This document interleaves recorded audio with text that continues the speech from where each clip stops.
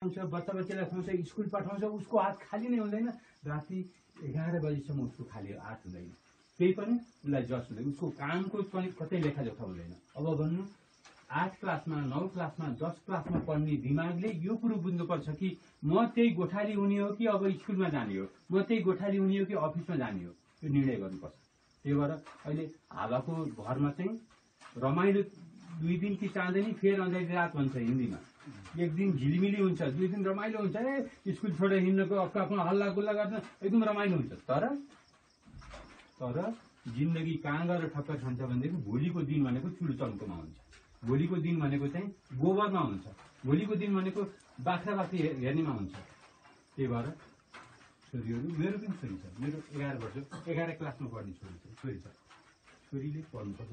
सबभन्दा बढी हाम्रो समाजको हिसाबले हेर्ने भने सबभन्दा बढी पढ्न चाहिँ छोरीहरूलाई जाउँ छोराहरूको बाबु बाबुहरूको बारेमा हेर्ने हो भनेदेखि बाबुहरू यो अहिले म निस्किसकेपछि मलाई थाहा यहाँ के के कुरा हुन्छ। ए जान्ने भएर चाहिँ मलाई पढाउन आएको भन्ने कुरा हुन सक्छ। जति म्याटर मलाई त्यसले केही छुँदैन। तर छुन्छ कहाँनिर भन्दाखेरि यति क्वेसन यही हो कि बाबु चाहिँ लेबर बनेर हिँड्ने हो कि अफिसमा जाने। कि अफिसियल हो।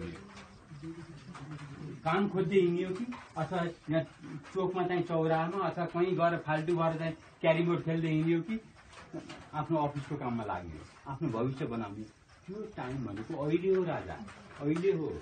बिल्कुल यो बिल्कुल एकपटक होइन दुईपटक होइन अन्डरलाइन गरेर हेरौँ कि आठ क्लासको विद्यार्थीलाई यो सुन जस्तो मौका हो कि बाबु नानीहरूलाई टाइम छ। नौ क्लासको विद्यार्थीलाई हतार भइसकेको छ। किनभने एक वर्ष टाइम छ। दस क्लासको विद्यार्थीलाई हुनसक्छ दुई सय दिनभन्दा बढी छैन। अब एसएलसी दिने त्यही भएर दिन काउन्ट गरिरहेको छ। त्यो यो बेलामा बाबु नानीहरूले कपाल कोर्न कम टाइम दिएर पढ्नुपर्छ।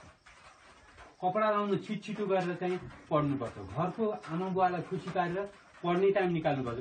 यो बेलामा फाल्टु भएर हिँड्यो भनेदेखि त त्यहाँभन्दा भविष्यको बर्बाद केही हुँदैन। बर्बाद हुन्छ। त्यही भएर बिल्कुल